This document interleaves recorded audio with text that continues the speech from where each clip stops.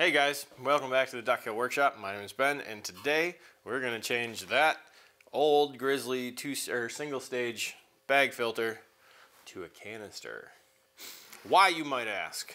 Isn't a dust collector a dust collector? No. This style of dust collector should really be termed a chip collector. It generates enough power to move large particles of dust and even if it's moving the small particles of dust, it doesn't have the filtration capabilities to keep them in the filter, in the bag. Uh, especially because this is an older unit that my dad's had since the early 90s. This is most likely a 30 micron bag, which means it's only catching chips. The stuff that's really bad for you is just getting blown back into the air. And that being said, my dad bought this for his shop, which is on the other side of this wall. So he's got a, a barrier, but I need to use it now or we need to share it, and I don't want to be breathing in everything under 30 microns.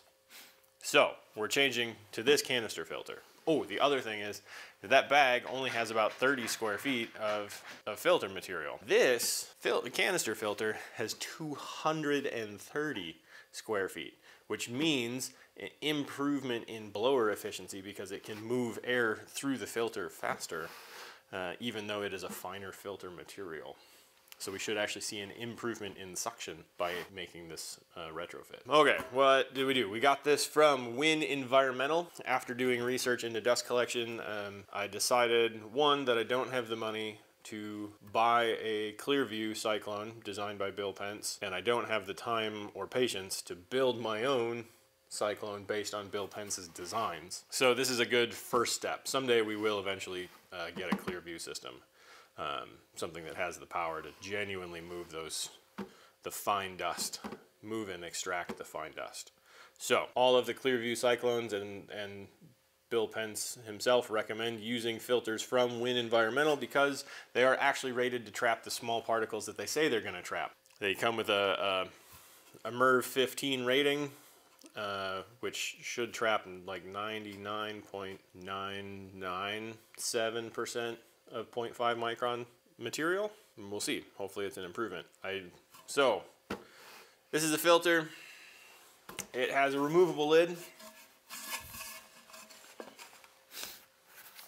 It actually goes, it's got a big foam gasket. So it goes this way. And that lid clamps up here on top. But I don't want the gaskets to get gunked up. Um, I ordered this along with improved filters for the ambient air filter that uh, I, my brother-in-law and I hung up recently. You see that here.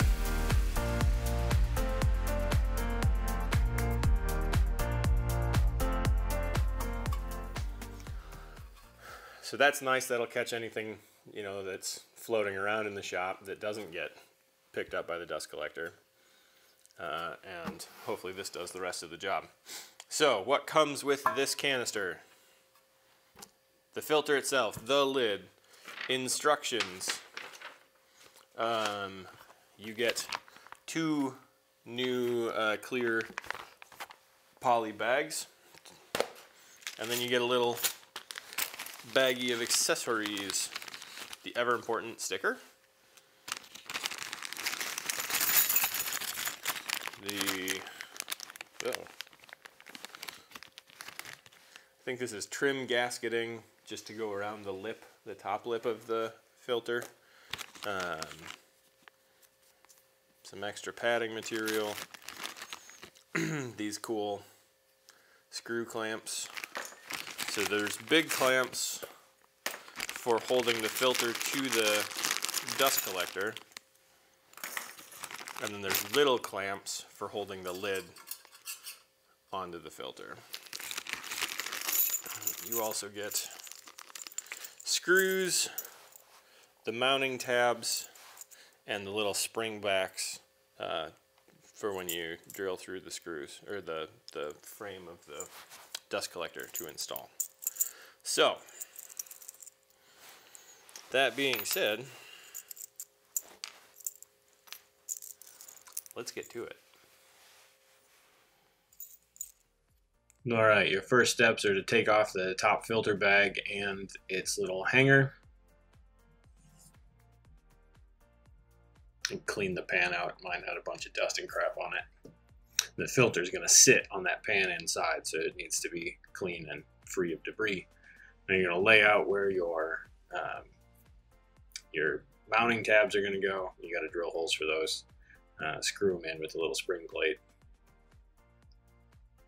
Show you a better look at that here.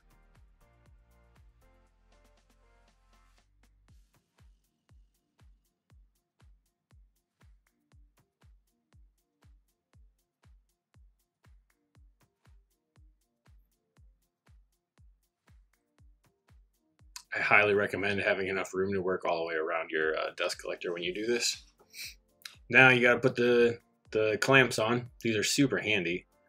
Uh, obviously, I'm on the struggle bus a little bit trying to figure out the best way to do this. Uh, I oriented the uh, the drive nuts uh, up so that they're easy to access.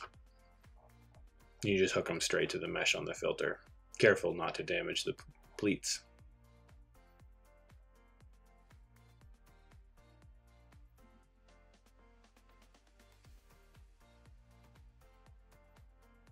And you just repeat three more times.